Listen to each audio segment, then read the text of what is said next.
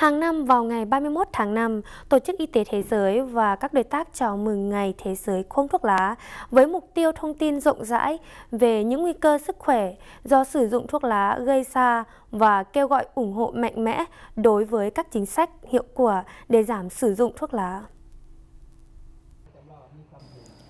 Nhân kỷ niệm 29 năm Ngày Thế giới không thuốc lá vào ngày 27 tháng 5 năm 2017 tại Cổng Chiến thắng thủ đô Incheon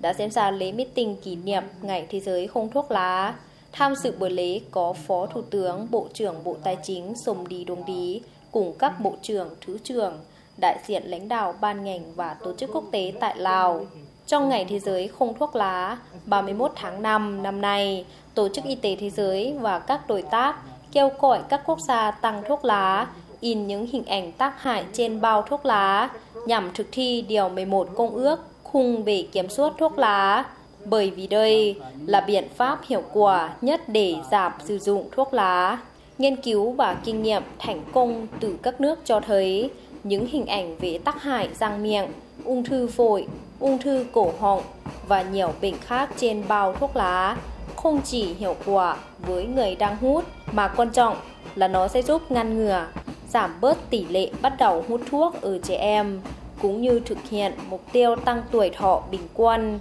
Cả nước đạt 73 tuổi.